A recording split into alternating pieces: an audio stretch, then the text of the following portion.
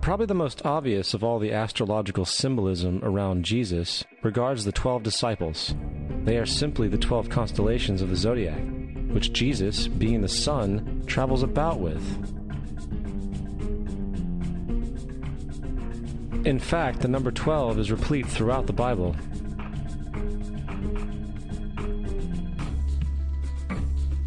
This text has more to do with astrology than anything else. Coming back to the cross of the zodiac, the figurative life of the sun, this was not just an artistic expression or tool to track the sun's movement. It was also a pagan spiritual symbol, the shorthand of which looked like this. This is not a symbol of Christianity. It is a pagan adaptation of the cross of the zodiac.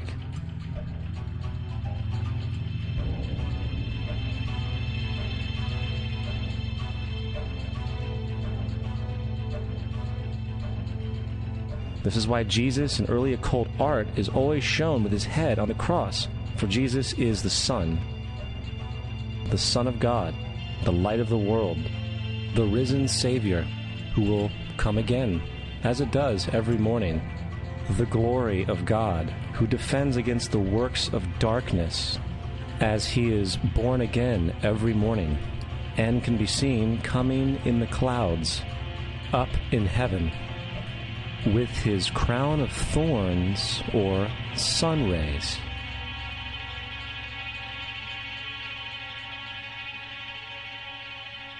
Now, of the many astrological, astronomical metaphors in the Bible, one of the most important has to do with the ages. Throughout the scriptures, there are numerous references to the age. In order to understand this, we need to be familiar with a phenomenon known as the precession of the equinoxes. The ancient Egyptians, along with cultures long before them, recognized that approximately every 2150 years, the sunrise on the morning of the spring equinox would occur in a different sign of the zodiac. This has to do with a slow angular wobble that the Earth maintains as it rotates on its axis. It is called a precession because the constellations go backwards rather than through the normal yearly cycle. The amount of time it takes for the precession to go through all 12 signs is roughly 25,765 years. This is also called the Great Year. And ancient societies were very aware of this, and they referred to each 2150 year period as an age. From 4300 BC to 2150 BC, it was the age of Taurus, the bull. From 2150 BC to 1 AD, it was the age of Aries, the ram. And from 1 AD to 2150 AD, it is the age of Pisces, the age we are still in to this day. And in and around 2150, we will enter the new age, the age of Aquarius. Now, the Bible reflects, broadly speaking, a symbolic movement through three ages while foreshadowing a fourth. In the Old Testament, when Moses comes down Mount Sinai with the Ten Commandments, he is very upset to see his people worshiping a golden bull calf. In fact, he shattered the stone tablets and instructed his people to kill each other in order to purify themselves. Most biblical scholars will attribute this anger to the fact that the Israelites were worshiping a false idol or something to that effect. The reality is, the golden bull is Taurus the bull, and Moses represents the new age of Aries the ram. This is why Jews even today still blow the ram's horn. Moses represents the new age of Aries, and upon the new age, everyone must shed the old age. Other deities mark these transitions as well, such as Mithra, a pre Christian god who kills the bull in the same symbology. Now, Jesus is the figure who ushers in the age following Aries, the age of Pisces, or the two fish.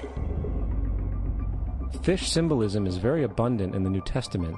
Jesus feeds 5,000 people with bread and two fish.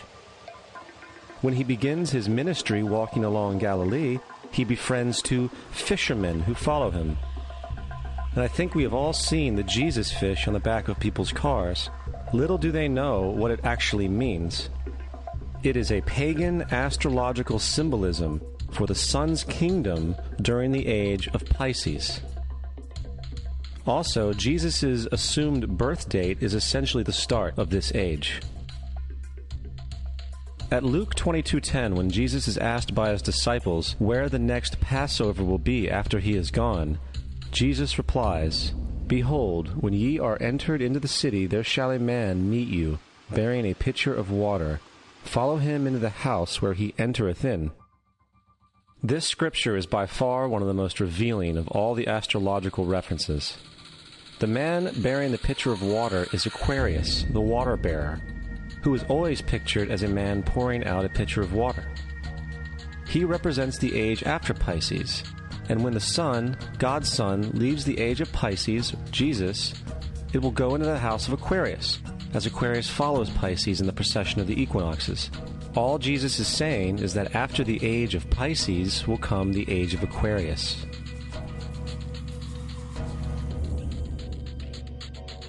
Now, we have all heard about the end times and the end of the world.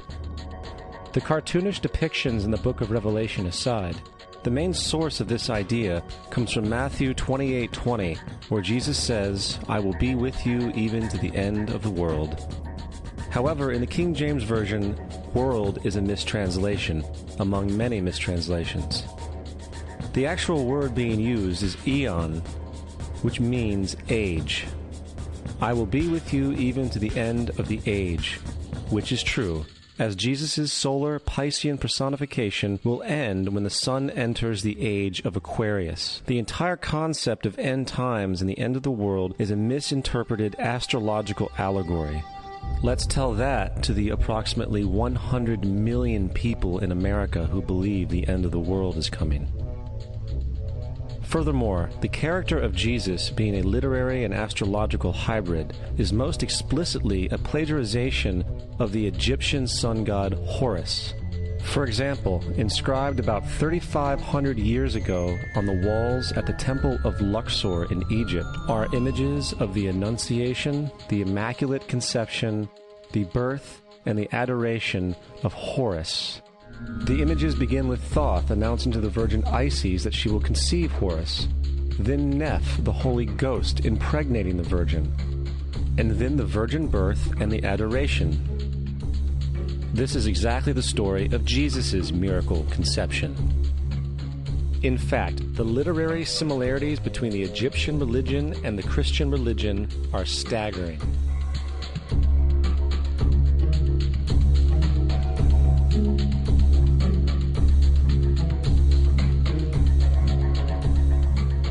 And the plagiarism is continuous.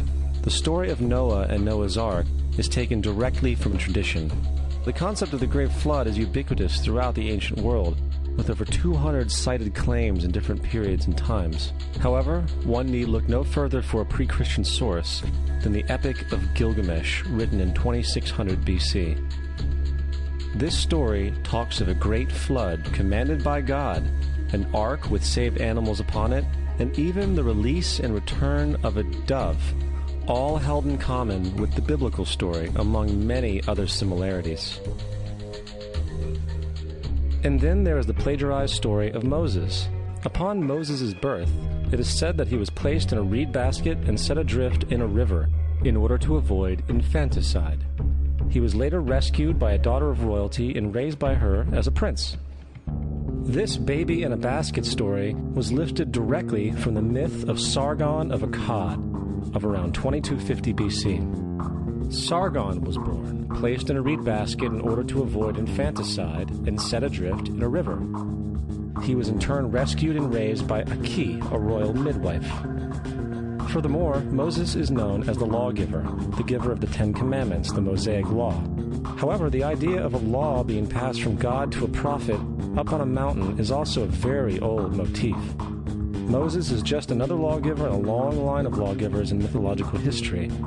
In India, Manu was the great lawgiver. In Crete, Minos ascended Mount Dicta, where Zeus gave him the sacred laws, while in Egypt there was Meses, who carried stone tablets and upon them the laws of God were written. Manu, Minos, Meses, Moses. And as far